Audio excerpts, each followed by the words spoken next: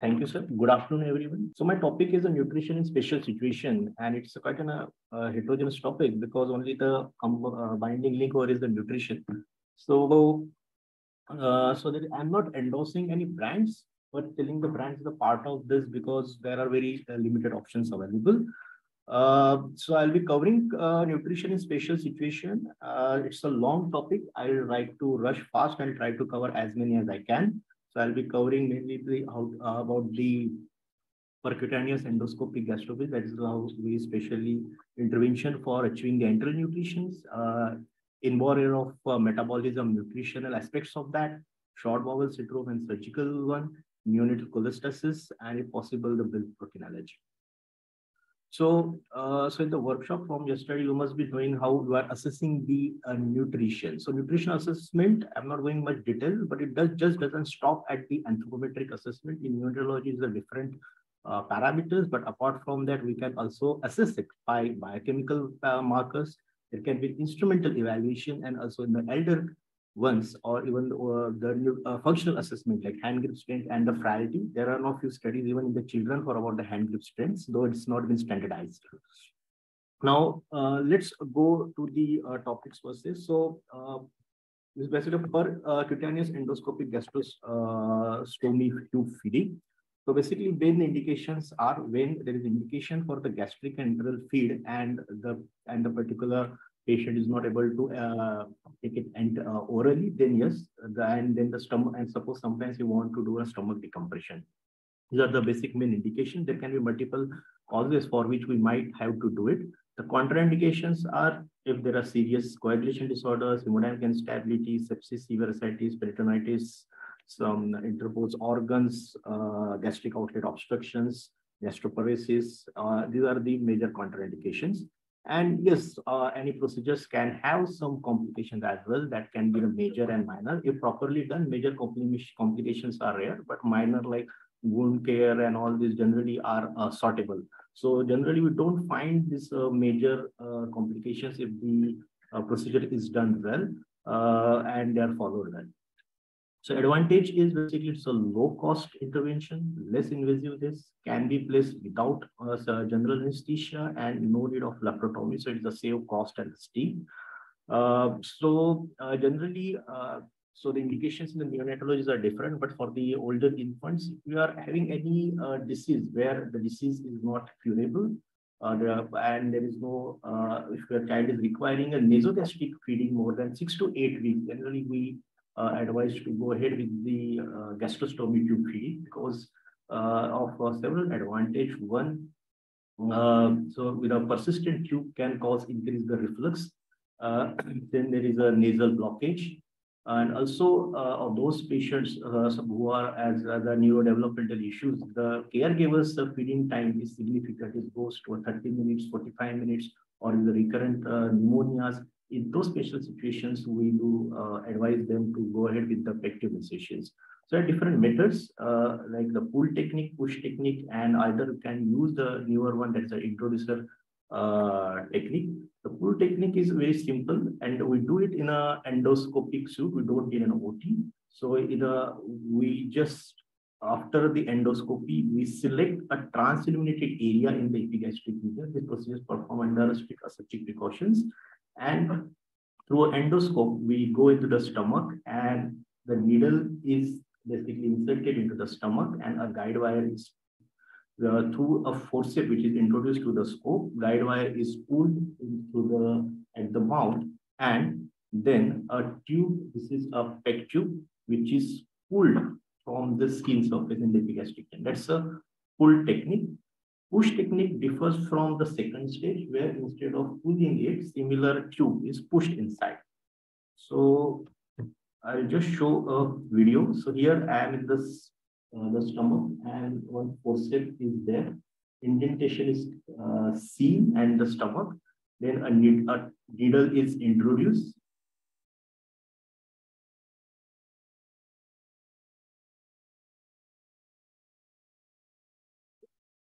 and through the then a trocar is kept there after the needle introduction. The uh, guide wire is then grasped with the help of a snare or forceps, whatever the assembly you have, and then it is uh, taken out. So it's very simple procedure. And once the guide wire is out from over the guide wire, you can uh, one can basically uh, pull the tube. Only the issue is there is a there is a risk of oral contamination. Uh, so the aperi procedure antibiotics will be required. So it's uh, it is can be easily done. Uh, So this is how the tube is placed. So this is quite an older case. Generally, we are till seven kgs and all. Uh, this is the youngest uh, we have put. But even in the three 3.5 kgs kids, it can be placed. And uh, for this age, generally a 12 French tube is sufficient. So the advantage are it avoids aspiration. One can give a balanced diet. One can give an even higher fiber diet. So it can prevent constipation in this field. Even the kitchen feeds can be given. So the cost of the nutrition decreases and it of course saves the feeding time of the caregiver. So more time can be given to a physiotherapy and other aspects of the care. Now, there is a study which was published uh, for the infants. So in this, uh, the center from the Italy, almost 36% of the kids who underwent this uh, procedures were the infants and the median age at least was placed for 114 days and the median age was 5.1 kg.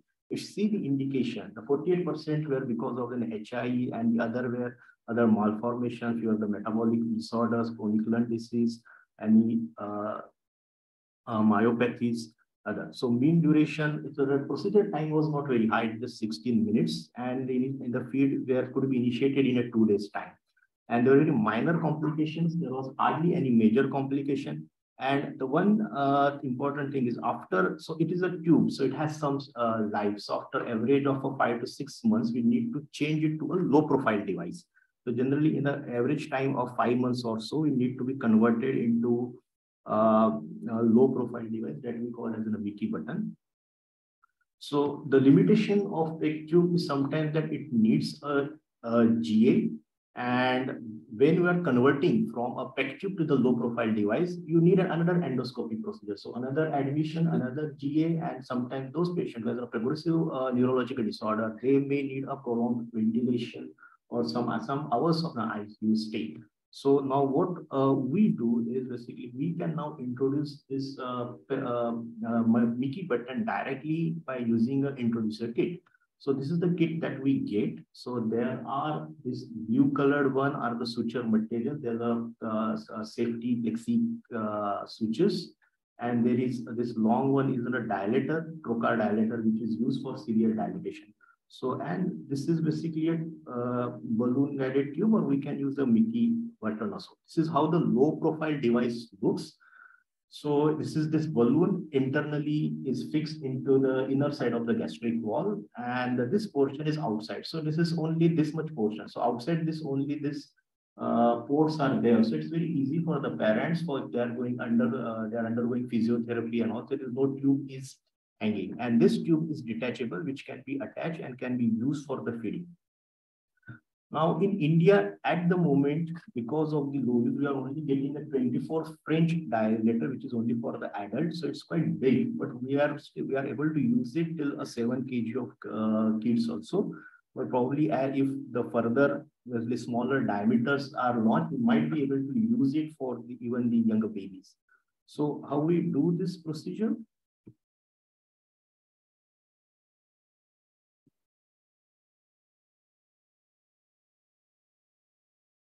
So this is again on the endoscope, we are in the uh, stomach. We confirm the indentation.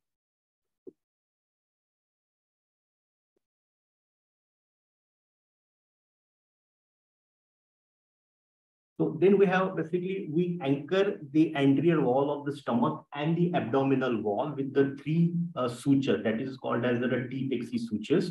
So there are small needles. So the needles are introduced and uh, uh, there is one anchor is there to the suture materials this anchor uh, and it is anchored like this so you can see the introduction of the first needle here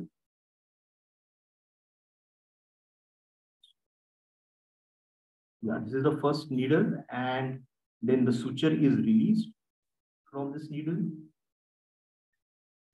So somehow I'm not able to fast forward it to save the time on this. So this is how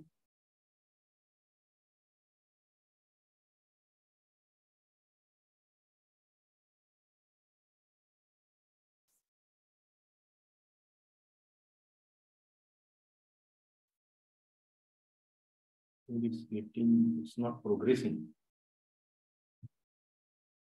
Okay, so we place the three, uh, three sutures uh, like that, and then from the center of these three sutures, uh, we place uh, another guide wire, and then there is a serial dilatation is done, and then directly Mickey button can be placed over here. So, so, so this, so from the outer surface, these are the three suture material which are placed, and we can put directly the Mickey button. The advantage of this is one, the single endoscopy procedure is required. If you are using a routine peg tube, probably for smaller kid, we can use a 24 frame, uh, sorry, uh, 12 frame. But with this uh, introducer kit, we can directly use a 24 French tube for placement. So it's a big port which is a tube. So um, uh, later on, whenever we are transi uh, transition is going from the liquid diet to the semi-solid diet, so it the thicker feed, more calorie dense feeds can be given. And uh, the second procedure is not required to convert the PEG tube to uh, Mickey button. So it definitely saves one more admission, one more general anesthesia, and it's quite helpful for those uh, children who has a progressive neurological disorder. So now uh, let's move on, to, move on to the second topic that was a nutrition in uh, inborn error of metabolism. Again, it's a very long topic and try to focus on few important aspects uh, in this.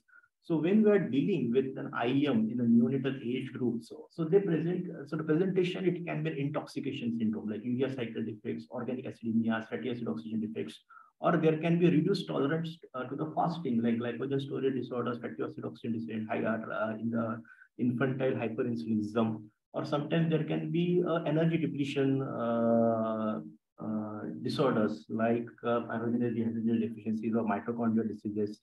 And there can be some uh, like a pyridoxine dependent epilepsies, disorders of neurotransmission. And there are some disorders where not much of the intervention is useful, like paroxysmal disorders. So whenever the patient, I'm not going to the details of the clinical presentation, but when the kids, uh, when this baby is present with an emergency, there is some set of uh, blood investigations that we do. That's from the blood and the urine. It's in any standard textbooks uh, depending on that, we try to classify like what kind of disease probably I may be dealing with, whether I'm dealing, dealing with organ acidemias, MSUDs, urea cycle defects, and any uh, carbohydrate uh, metabolism disease, fatty acid oxidation, or mitochondrial disorders. And then we decide like how to go ahead. The goals of the treatment here is the first is to ensure the basic life support. Of course, they need to be in a good uh, facility where is the good NICU backup provide sufficient energy supply, prevent accumulation of the toxic metabolites, correct acid-base balances, and introduce the supportive therapies like uh, treat infections, manage convergence, and supply the cofactors, which is generally given empirical. So the first stage is you stop the feeding and give a high uh, rate of the glucose. Then uh, second stage is the correct acid-base metabolism, ensure good hydration, correct all the electrolytes look for any hyperammonia states because that can directly correlate to the survival. If you are not able to manage ammonia, whatever you do, you are going to lose the child. So they will need either peritoneal dialysis or depending on the age, might be hemodialysis also. So, uh, so try to detoxify the ammonia and can use arginine, citrulline, sodium benzoates. Uh, so, or if required, peritoneal dialysis or hemodialysis. Uh, then promote, and once the acute phase is over, we concentrate on the promotion of anabolism by giving good glucose, lipids, if we are not suspecting fatty acid oxidation defects, so that there's good calories are given. After 48 hours, at least start 25 to 50% of the RDAs of the protein because we don't give it fearing that supplementing the protein will increase encephalopathy, there is a degradation of their endogenous proteins, and that will again going to worsen the uh, nutritional status. For uh, urea cycle defect, we restrict all amino acids. And if you know specific organic acidemia, we can restrict the specific amino acids. And of course, uh, other supportive medications we go ahead. Now, this emergency management is the standard one, not going through in the details of all these emergency managements. Uh, metabolic emergency drugs, again, this list is available in all the standard uh, references. So uh, one should know the doses and you should know how to reach the pharmacy to avail this because when you're managing this patient, it's always the race against the time. Uh, now, uh, now when uh, the acute phase is over, we focus on the nutrition of the kids. So we should know what are the needs of for the anabolism uh, when the patient is in the infection, in the acute illness. So this needs a little bit different from the standard uh, one. So just refer and just try to see what are the, as per the age, what will be the required. Uh, now, when you are focusing on the enteral nutrition, there are different kind of formulas. Just I think Dr. Bharti was also uh, So we have one is an elemental formula, similar elemental formulas, polymeric formulas, and another protein substitute. So polymeric formulas are those uh, formulas which we use routinely, routinely where the carbohydrate fat metabolism, the macronutrients are present in a natural form. There are the polymers. Okay, so there will be non-hydrolyzed proteins and the carbohydrates provided by maltodextrins and oligosaccharides, uh, triglycerides are the, these are the uh, fat proportion. When they have been broken down to the pieces, we already get either uh, partially hydrolyzed formulas, extensively hydrolyzed formulas, or elemental formulas. So in partially and extensively hydrolyzed formulas, we get oligopeptides. In elemental formulas, we get a single individual amino acid formulas. And the sugar can be either the maltodextrins or can be the glucose polymers, which can be again single. And the lipids is sourced uh, by the medium or long chain triglycerides. Now, as we go on and decreasing the size of the macromolecule to the micro or even the single one, the osmolality goes up. So we have to see the enteral tolerance and also generally when you are a metabolic disease, they don't have much of the enteral issues. But when you are using these formulas for any surgical gut, short gut, there we need to consider uh, this uh, osmolality aspect. Uh, and then these are the protein substitute or the medical foods that is used for uh, the patient, uh, the patient who have the metabolic uh, diseases. So one can use an elemental amino acids, or one can use uh, uh, the individual free amino acid can be a mixture, and where whenever a particular disease condition, that particular group of amino acids is given this, and it is considered as, and the other essential amino acids are supplied. So that's how we have earned. This is just basic understanding of the formulas that is available for the enteral nutrition in this process situation. Uh, so we know that the protein anabolism, so there are three aspects. So just by giving protein anabolism is not going to generate the uh, just uh, protein supplement. So you need to provide good amount of calories only then the anabolism will be spread. So we need to have carbohydrate, proteins and leucine. That will, that's going to synthesis, uh, stimulate the protein synthesis. And uh, so, so you have, so, uh, so what happens if we give an unbalanced nutrition? So, you know, if you're given adequate, there is a normal growth. But if there is an imbalance, so so if you are giving more protein but not giving enough calories, your protein are going to get wasted and you are going basically a costly calories because they are going to get converted into the uh, energy utilization. So if you are going uh, giving less protein, then again the, the child is not going to get uh, gain the protein uh, muscle mass, but is going to uh, gain the fat. So that's why the balance energy is very important. Uh, and we need to take the help of an expert nutrition. That is very important. As a clinician, we cannot do this, but we need to understand so that we know that what is happening in the right direction. And as a clinician, can you suggest any tweaking into the diet? So that's why we need to understand uh, the uh, diet in the special situation.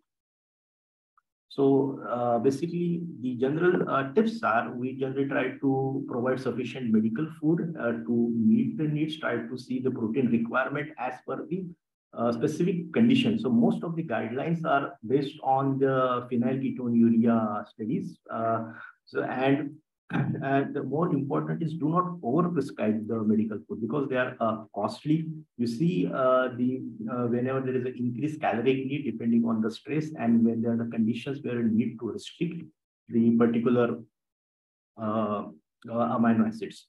So how to assess the protein uh, sufficiency? We can assess biochemically by measuring the particular amino acids in the question, albumin, and of course the blood urea nitrogen and pneumatic parameters you all know And then again, on the clinical assessment is very important, whether the, there are any clinical symptoms of uh, malnutrition. So let's uh, quickly go through few special conditions and let's see uh, how we go. Suppose we had a child with MSUD as the child is stable and after stabilization, you want to introduce the diet. So, uh, so this the goal is to maintain this leucine, isovaline, and valine. So individual assessment is not required, but if you do measure a plasma acid, yes, you will get these uh, levels uh, with uh, so this uh, age uh, as per age we try to see okay how much leucine is required how much intact protein is required how much total protein is required so so with this intact protein you see how much whether this minimum required leucine is getting uh, this this requirement is met or not once that is been uh, done then you the then we supply the remaining protein with the medical food to meet the nutritional goal. And after that, we calculate the remaining energy required and use the appropriate fat and carbohydrate to meet the goal. So the formulas are there by different companies. So Abbott, Mead Johnson's, DN stands for Danone Nutrition and is the Pristine. I think in 2017-18, these formulas were launched, but however, they have been withdrawn because of uh, a number of reasons. Now the, yeah, the pristine ones are available and they are quite uh, cheaper uh, and affordable. Uh, so that's how, uh, with the help of uh, expert dietitian, you can calculate this and you can use this formulas. They are available in India. Uh, so whenever there is an illness, decrease the protein by 50%, increase the medical food, and in, you can increase the energy by increasing the carbohydrates and the fats. Now, if you are dealing the child with uh, organic acidemias, again, here the goal is to maintain plasma amino acids in a normal range. So here, again, we see what should be the total protein and intact protein, and then you see what is the calorie. So again, through the intact protein, um, we'll see uh, how much we can do and whether the plasma amino acid levels in the blood is matched. It's a trial and error method. So, and number of things decided what's the catabolism, what's the basically uh, basic metabolic rate of the child, and how is the liver is going to handle each and each amino acid. So we calculate the intact protein requirement and what is the remaining you add by the medical food and rest of the calories you uh, fulfill with the uh, other like the fats and the uh, carbohydrates. So the formulas for this again uh, the Abbott MGN and nutrition are not available, and the pristine ones are there available. But this group will definitely need carnitine, biotin, and B12. Now for tyrosinemias, we do see these children quite uh, frequently. So there's a plasma amino acid uh, so the plasma phenylalanine tyrosine should be maintained. So that's the goal. So here uh, important is when they are coming in the crisis situation, keep them NPO. Uh, you can get the, and once they are stable, uh, one can again, so you see what is how much uh, phenylalanine the child is getting from the, um, you know, the, the diet. Again, the same, use the same step and meet the other needs. And there are special formulas which will be free of the specific amino acids. And the nitisol, so here in the tyrosinemia, on, apart from the diet, you need to give nitisinone, which is again, it is now launched in India. Two years prior, the cost used to be very high. Now it is almost decreased to almost 50%. Now here, if the child is presenting to you and is less than six months, it's very important to identify this kids and early age. Uh, you can definitely start nitisinone and the special diet and probably the cirrhosis can get reversed and child will have a good long-term survival with the NICU. But suppose you're diagnosing the child a little bit late by eight months, nine months. So cirrhosis is already set. This the kids with these conditions are already at high risk for an HCC. These kids have a micro hepatocellular carcinoma of 0.5 mm on all. So these are just seen in the explants when kids are undergone a transplant as young as one and a half years. There have been India studies which has shown that. So once you, once the cirrhosis is set in, then even if you provide this, you may achieve a metabolic stabilization in the initial months or years of the treatment, but on the long term, these children are going to get decompensated because of cirrhosis, and they may still develop or have an HCC, and you may get a surprise at five years, six years. HCC is a slow growing tumor. So uh, with the tumor which is already spread and is uh, unsalvageable case. So those children generally who present late, yes, we use this to stabilize them. But after that, this, this kind of kids uh, can need a transplant if they present at older age. The goal is to identify early. Also, we have to see the long-term cost. Now, the kids with a urea cycle uh, defects, so the goal is to maintain the normal ammonia. Uh, we already uh, seen the emergency management here. Again, the procedure is the same. Calculate the uh, need to the intact protein and uh, you see whether the essential amino acids been maintained or not. Maintain ammonia as a normal. Even if it's suppose they're clinically asymptomatic and you and is high, so these children can have a learning disability They can have a behavioral problem. They are hyper. They have a, they, are, they behave like an ADHD kid. So so long term uh, good neurological survival is also important for the kids. And sometimes they have severe anorexia, so they can need an enteral support by either tube feeding or gastrostomy foods. Uh, the formulas are, are available for this and one need to supplement L-arginine, uh, the L-arginase deficiencies, citrulline, and nitrogen spacing medications, which has been already mentioned into the uh, previous tables. Now, the long-chain acyl coenzyme A deficient, uh, dehydrogenase deficiencies, again, they present as whenever there is a long-term uh, fasting is there, Again, here we need to see how much LCT to meet the goal from the diet, supply 40, 50% from the LCT, supply 50% from the MCT, and then remaining of the uh, energy meet, meet from the protein and the carbohydrate uh, need. Uh, again, therefore, the formulas are available. And what is important once to diagnose it? So, so there is a, some specific period of a meal per mouth, uh, uh, uh, this can be tolerated. Younger the kid, smaller the interval. As the kid grows, maybe around eight hours of fasting can be tolerated. But beyond that, avoid it. Uh, and these needs, they uh, again, DHA supplementation may be required once you are restricting the LCT. Just presenting one case. So it's a, basically a small boy, third degree consanguinity, uh, and this child presented with an ascites, uh, sepsis, lethargy, uh, dehydration. And this uh, child was from Surya Hospital, Dr.